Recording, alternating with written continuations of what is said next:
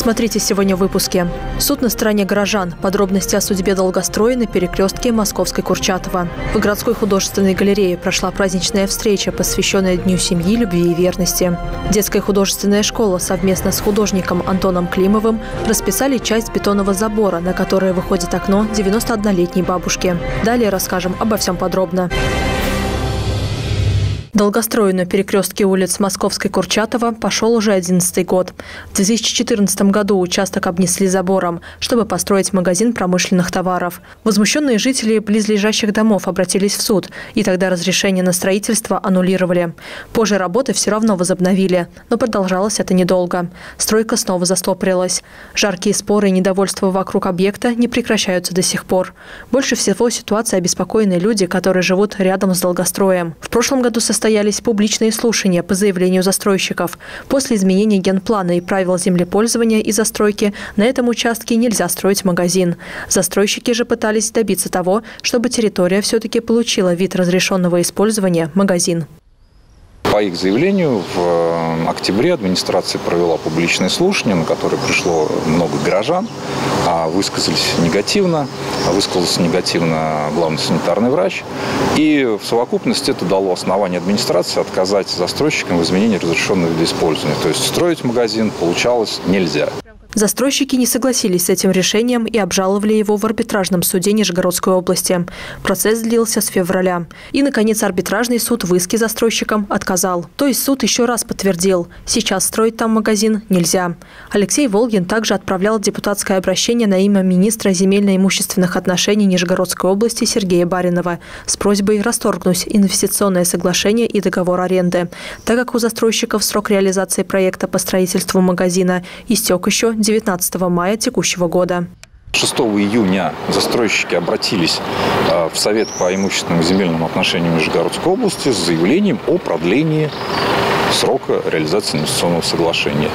И вторая неприятная часть – это то, что министерство, как выяснилось, считает нецелесообразным расторжение. Они считают, что здесь нужно все это достроить. Окончательное решение будет принимать Совет по земельно-имущественным отношениям. Для этого они будут собирать всю информацию и мнение администрации и граждан, а также будут учитывать решение арбитражного суда. Канал 16 будет следить за развитием событий. Светлана Ярунова, Евгений Шикарев, Сергей Рябов. Служба новостей Саров, 24. Канализационные очистные сооружения начали реконструировать с 2020 года. В реконструкцию попали все объекты третьей очереди, которая была введена в эксплуатацию в 1998 году. Строительные работы проводились в рамках федерального проекта «Оздоровление Волги». Первый этап строительства закончили в декабре 2023 года. На таких сооружениях, как анаэробные резервуары и аэротенки, внедрены новые технологии, которые недавно стали применять в стране. Новое строительство – это было новые песколовки. Были ранее круглые э, горизонтальные песколовки. Сейчас э, песколовки прямоточные э, с аэрационной системой. Реконструкцию попали то, что мы видим сзади меня. Это анаэробные резервуары, аэротенки. Полностью обновлены все системы технологические. Вторичных отстойников обновлено. Построены новые здания. Это здание для очистки. Новые здания ультрафиолетового обеззараживания.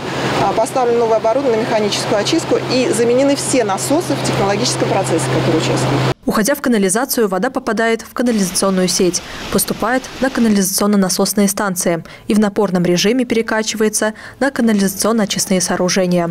Далее вода проходит механическую очистку от грубых отбросов и песка. На следующем этапе вода проходит биологическую очистку через анаэробные резервуары, аэротенки и вторичные радиальные отстойники. Потом идет доочистка воды, которую в нашей области применяют только в Сарове.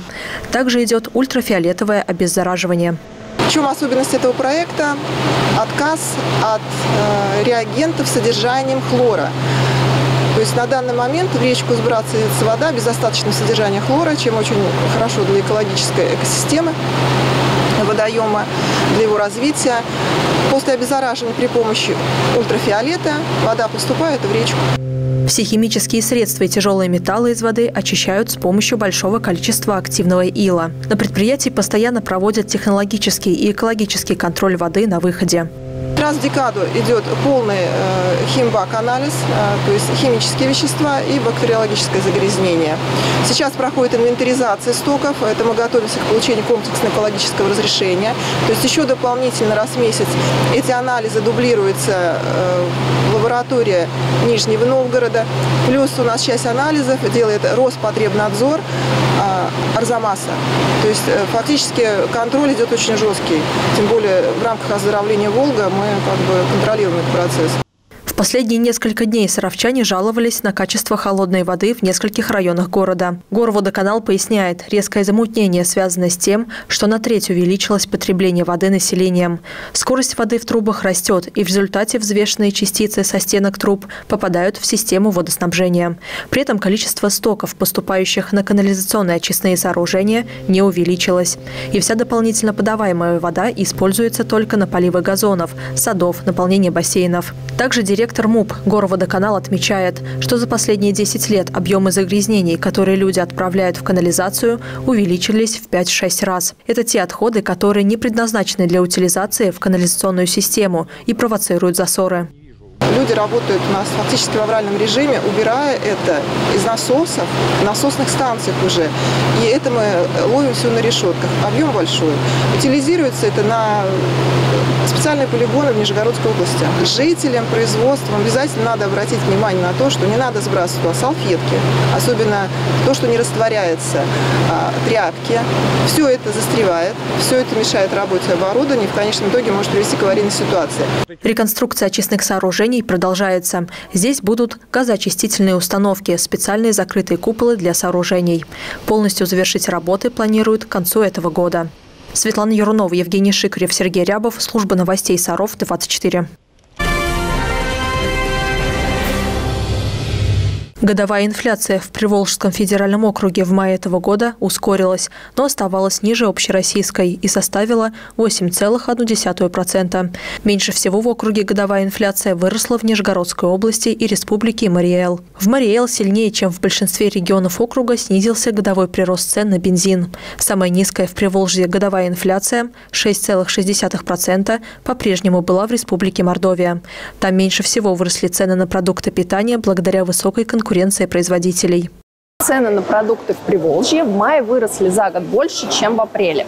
Основная причина – это увеличение расходов производителей, в том числе на сырье и оплату труда. Например, для кондитерских фабрик стали дороже какао-бобы. Странах-поставщиках случился неурожай, и мировые цены на какао-бобы увеличились. В результате кондитерские изделия стали дорожать быстрее. С другой стороны, внутри страны увеличилось предложение сахара, и годовой рост цен на него замедлился целом в Нижегородской области годовой рост цен на продукты в мае тоже замедлился. В частности, замедлился рост цен на плодоовощную продукцию. Благодаря увеличению импортных поставок некоторые фрукты, например, апельсины, подорожали не так сильно. Цены на непродовольственные товары увеличились из-за роста затрат, которые учитывали производители. Это связано с высоким спросом внутри страны. Поэтому подорожали одежда, парфюмерия, косметика и ювелирные изделия. В сегменте услуг наиболее заметным был годовой рост цен на авиабилеты эконом эконом-класса. Это связано с повышением спроса на путешествия по России. Чтобы снизить годовую инфляцию в стране до целевого уровня вблизи 4%, Банк России будет поддерживать жесткие денежно-кредитные условия в течение продолжительного времени. По прогнозу специалистов, в таких условиях годовая инфляция достигнет цели в 2025 году. Светлана Ярунова, Сергей Рябов, служба новостей Саров, 24. В городской художественной галерее состоялось празднование Дня семьи, любви и верности. В торжественной обстановке наградили пары Сарова, которые прожили в браке более 25 лет. Супруги получили от руководства города и ВНИЭФ медали и памятные подарки. Иногда только семьи поддерживают, но и с другой стороны, только благодаря нашим семьям мы что-то делаем. Потому что человек так устроен, ему одному почти ничего не надо. И вот этот дар, который, конечно, на вас снизошел, найти себе вторую половинку, прожить с ним многие лета, говорит о том, что каждый из вас, наверное, очень-очень хороший человек. В выставочном зале галереи собрались семьи, празднующие 30, 40, 50 и даже 60 лет совместной жизни. Гости вечера насладились творческими номерами, услышали поздравления с Днем семьи от главы города, вспомнили важные моменты своей супружеской жизни и выступили с ответными словами. Кто и в буднях может быть счастливым, тот и впрямь счастливый человек. И поют дороги и мосты, краски леса и ветра событий, Пару Руслана Шигурова и Ирины Авакумовой объединила сцена. Они служат в Саровском драматическом театре. Супруги вместе уже больше четверти века и все это время сопровождают и поддерживают друг друга. Мы везде вместе.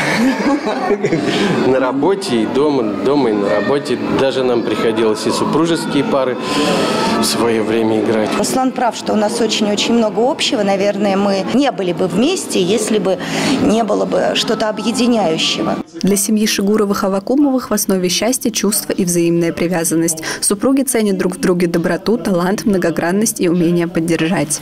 Он э, вдохновляет, он радует. Категоричная, но уступчивая. Э, ценит мой, мой чувство юмора, мое чувство юмора. Вот. Всегда поправляет меня. Наверное, это все и помогает нам быть вместе много, много лет. Медаль за любовь и верность ежегодно вручается семьям России. В этом году почетную награду получили более 10 супружеских пар Сарова. Среди них ученые, инженеры, врачи, артисты и учителя. И всех их объединяет любовь, верность и забота друг о друге. Анна Разуваева, Евгений Шикарев, Сергей Рябов. Служба новостей Саров 24. Галина и Владимир Афанасьева родились в разных странах. Она в Германии, он в Советском Союзе, в Пензе. Но они встретились и создали семью именно в Сарове. Мы встретились в общежитии. Вот здесь на Ленина 4. Это какой год был? 74 74 Встретились в 73-м, в 74-м мы поженились. живем в Сарове. В этом году семья Афанасьевых отмечает золотой семейный юбилей – 50 лет в браке. С нашим городом неразрывно связаны страницы их трудовой семейной биографии. Владимир – почетный ветеран РФЯ Цвнеев, доктор технических наук и заслуженный изобретатель и конструктор России, лауреат государственных премий. Галина почти полвека проработала в медицине. Она впервые создала в Сарове детскую физиотерапевтическую службу, была наставником молодых врачей и успешно обучала медперсонал. Своим трудом Галина внесла огромный вклад в развитие медицины в Сарове. 2024 год объявлен президентом России годом семьи.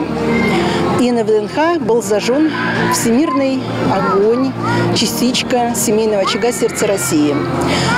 Централизованно все субъекты Российской Федерации этот огонь получили, в том числе Нижегородская область. И Нижегородская область уже во все муниципалитеты торжественно их передавала. Семья Афанасьевых получила частицу семейного очага в Дивееве на бракосочетании молодой пары. Они привезли его в Саров, чтобы передать саровским молодоженам. Это должно символизировать преемственность поколений и семейные ценности.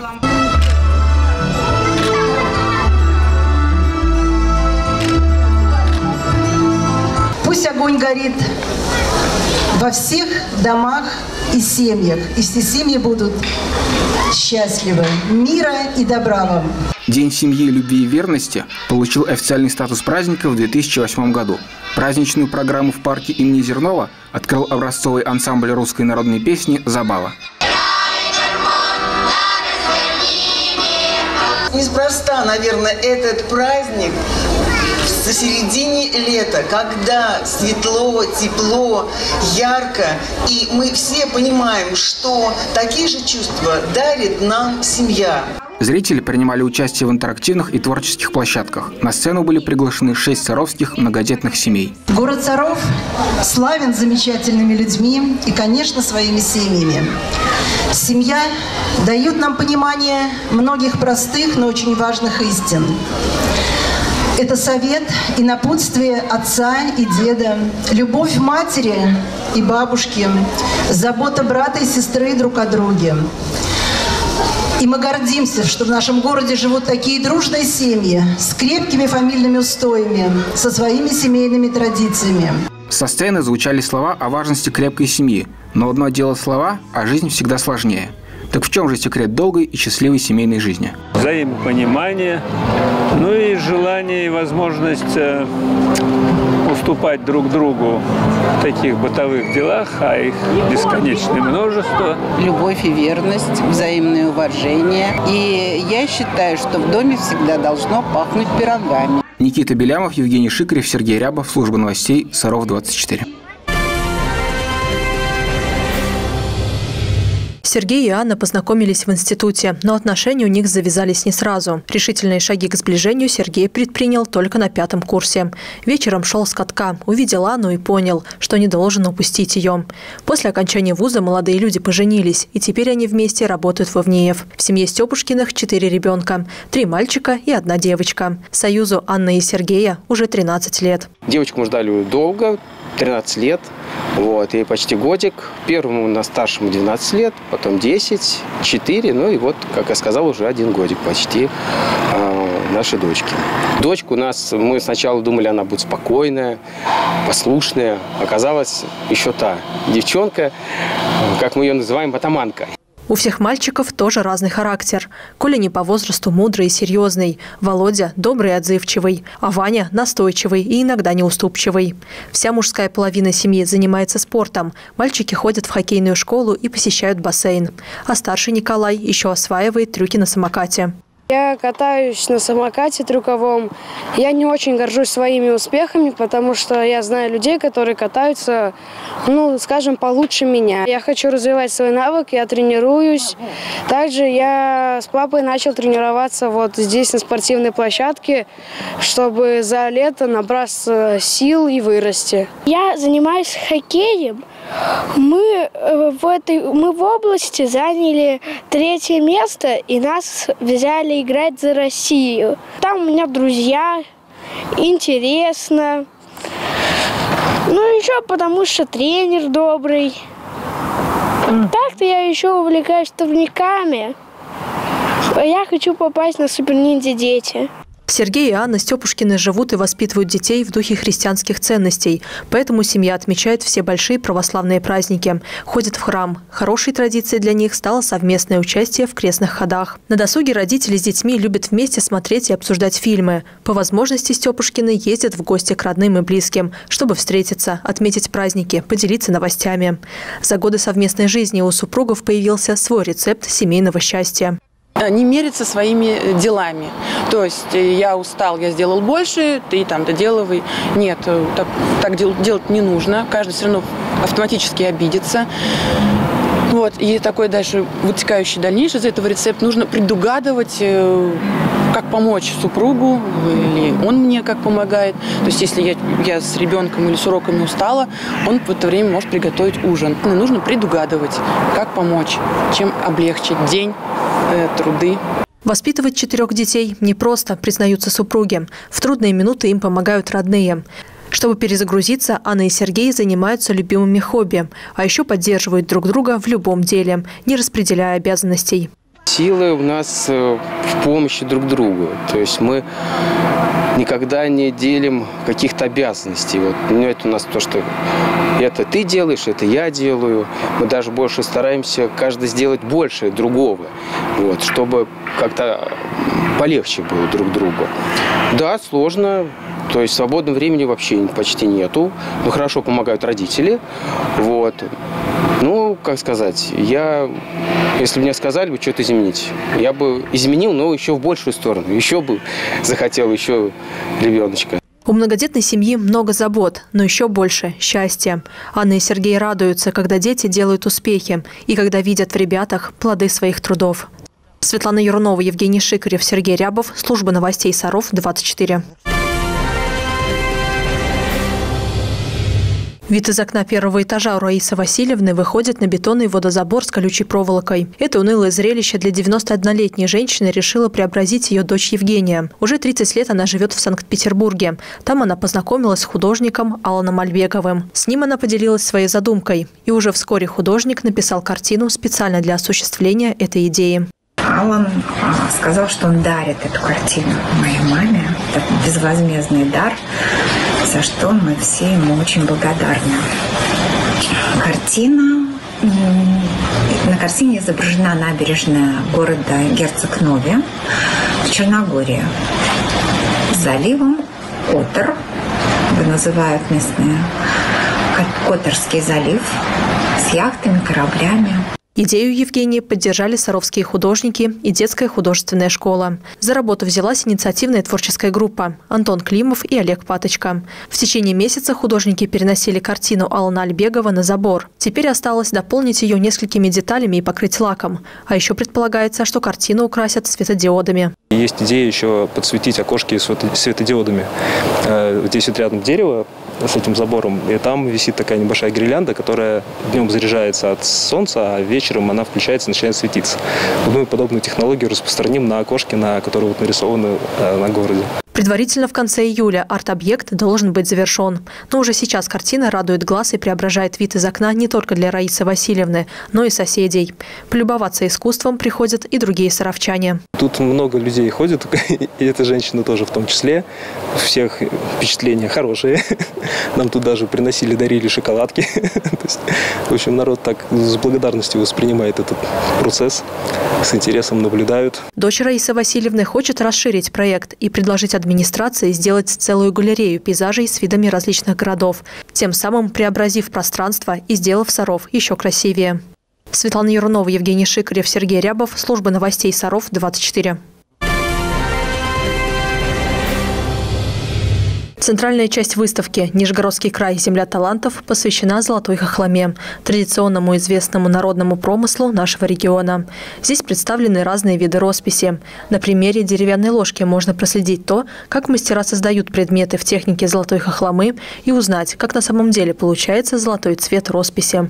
В экспозиции также представлены работы отдельных мастеров народных игрушек и промыслов. Представлены новые промыслы, которые только зарождаются. Промыслы – это такое, ну, такое живое, что называется, существование дела, когда старые уходят в прошлое, но появляются новые, и старые обретают новую жизнь, как, например, вот Чекаловская игрушка, Федосеевская игрушка.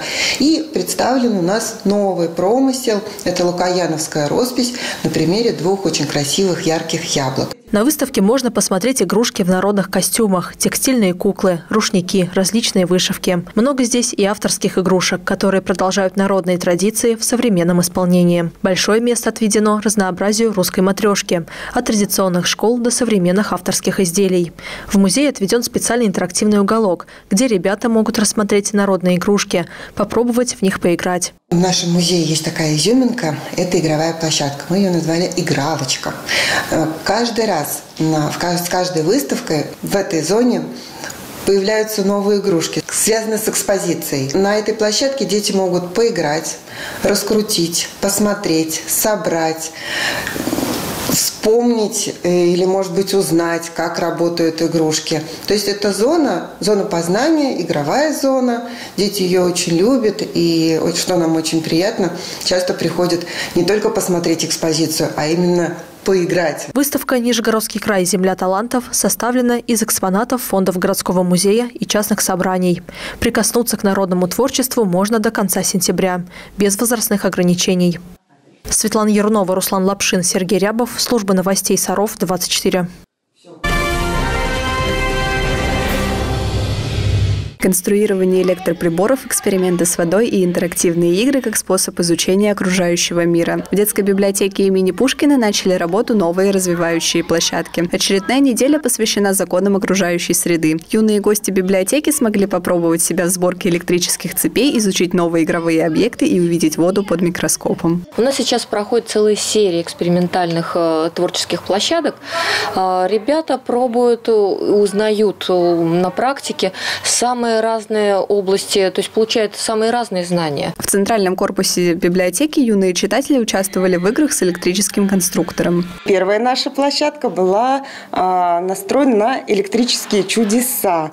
Ведь э, электроэнергия окружает нас повсюду. Ребята привыкли включать телевизор, да, смотреть ноутбук, разговаривать по телефону, и при этом они не догадываются, откуда появляется электричество. В рамках этой площадки дети смогли собрать действующую модель радио, сигнализации и вертолета. Также гостей библиотеки пригласили принять участие в играх с интерактивным полом и песочницей, которые помогают в объяснении законов природы и положительно влияют на координацию. Эти площадки как раз помогают нашим детям в комфортной и интересной обстановке узнавать много нового и интересного. В филиале номер два тоже работала игровая площадка. Вместе с сотрудниками библиотеки дети самостоятельно провели эксперименты и изучили свойства воды. Саровская вода – это наш бренд, и мы решили посвятить отдельные, даже две площадки по этому направлению у нас работают. Ребята пробуют воду и на вкус, и сравнивают саровскую воду с другими, э, с, с водой из других регионов России, и проводят различные эксперименты с водой. Неделя изучения окружающей среды проходит в рамках проекта «Это твой город, это мой город». Мастер-классы, игры и встречи знакомят юных гостей в детской библиотеке с разными профессиями, науками и сферами общественной жизни. В течение следующих недель в детской библиотеке пройдут встречи с врачами скорой помощи и сотрудниками сферы благоустройства. Анна Разуваева, Евгений Шикарев, Сергей Рябов. Служба новостей Саров-24. Как помочь любимому питомцу перенести жаркое лето? От зноя страдают не только домашние четвероногие друзья, но и животные на улице. Если вы увидели на жаре бездомных животных, вы можете вынести им миски с водой. То же самое относится и к домашним питомцам. Необходимо соблюдать питьевой режим. То есть это может быть миска в привычном месте, где она стоит, и также в том месте, где котик предпочитает чаще всего отдыхать. Воду мы меняем несколько раз в день, хотя бы утром и вечером. Миски обязательно моем. Чем больше у кота шерсти, тем сложнее ему переносить жару. Желательно вычесывать питомца хотя бы раз в два дня. Это способствует терморегуляции тела животного. Не стоит пугаться, если животное отказывается от еды в течение 8-15 часов. В такую жару кошки едят гораздо меньше, поэтому суточную норму употребления корма можно сократить. Если животное вы кормите влажным кормом, то можно, например, разделить порцию пополам, давать вечером и с утра. Обязательно не оставляем влажный корм в миске, то есть смотрим, чтобы животное его съело, поскольку в такую жару он очень быстро портится, и это тоже может спровоцировать отравление животного. Поэтому обязательно либо животное доедает, либо убираем в холодильник. Можно перенести домик кота в затемненное место. Темная ванная отлично подойдет. Животному будет гораздо комфортнее, чем на солнечном свете. Кондиционеры и вентиляторы помогают кошкам так же, как и людям. Но необходимо знать меру. Чрезмерное использование может привести к тому, что питомец заболеет. Кроме того, существуют специальные коврики, которые помогают животным в жару. Они содержат внутри специальный гель, который при э, нагревании тела животного начинает как раз-таки охлаждаться. За счет этого сам коврик остается прохладным, котикам будет комфортно. Кроме того, можно протирать прохладной водой им носик, лапки и животик. Тоже им это будет помогать. Вялость, апатия, отказ от еды и воды, учащенное сердцебиение, частое дыхание, высунутый язык и расширенные зрачки. Все это может быть признаком теплового удара. Необходимо отнести животное в темное место и обернуть в полотенце, смоченное в прохладной воде. Поставить вентилятор. Ни в коем случае нельзя поить питомца холодной водой. Она должна быть прохладная. Если признаки теплового удара не проходят, обращайтесь к ветеринару. Следуйте этим простым правилам, и вы поможете своим питомцам пережить жаркое лето. Никита Белямов, Руслан Лапшин, Сергей Рябов, служба новостей, Саров, 24. Вечером 2 июля на улице Симашка едва не задавили 14-летнюю девушку на механическом самокате. Все случилось на въезде во двор, около дома номер 4. 60-летний водитель авто отделался легким испугом. В результате дорожно-транспортного происшествия пешеход получил телесные повреждения после осмотра врачом отпущен домой. Всего на прошедшей неделе было зафиксировано 181 административное правонарушение. Сотрудники госавтоинспекции задержали троих пьяных водителей и четверых водителей без прав. Девять человек были оштрафованы за неправильную тонировку стекол. За неделю произошло 6 ДТП с материальным ущербом. Одно из них произошло 7 июля в 9 часов 30 минут в гаражном кооперативе номер 1, блоке номер 4. Неизвестный водитель, управляя автомобилем «Шевроле Нива», совершил наезд на препятствие – гараж. А, после ДТП участник скрылся. Один раз были нарушены правила перевозки людей. Дважды – правила переезда через железную дорогу. Кроме того, летом участились случаи ДТП с участием мототранспорта. В связи с этим обращаемся к водителям мототранспортных средств и автомобилей, чтобы были предельно внимательны за рулем. Водителям автомобилей следует регулярно смотреть на зеркала заднего вида и желательно, чтобы у вас было приоткрыто стекло, чтобы услышать, как приближается данное транспортное средство. А в конце июля сотрудники ГАИ проведут информационно-профилактическое мероприятие под названием «Лето – это маленькая жизнь». Никита Белямов, Евгений Шикарев, Сергей Рябов, служба новостей Саров, 24.